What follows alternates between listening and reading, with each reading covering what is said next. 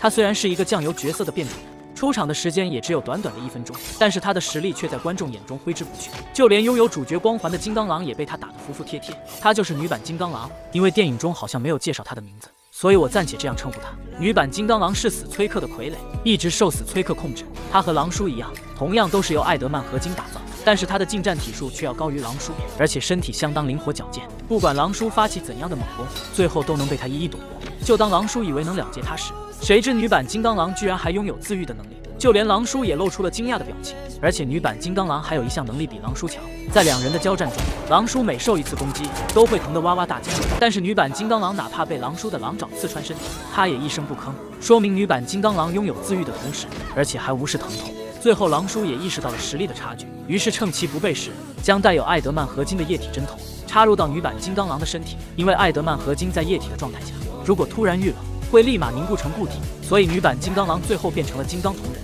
就连落入水缸中也会清楚的听到金属碰撞的声音。如果狼叔不是因为主角光环的话，我认为很可能会死在他的手里。不过女版金刚狼在这里好像并没有死，因为在逆转未来中有一个哨兵机器人就用过他的超能力，而且还捅死了太阳黑子，说明女版金刚狼最终是死在哨兵的手里，并不是金刚狼的手里。对于这一点，不知道屏幕前的你怎么看呢？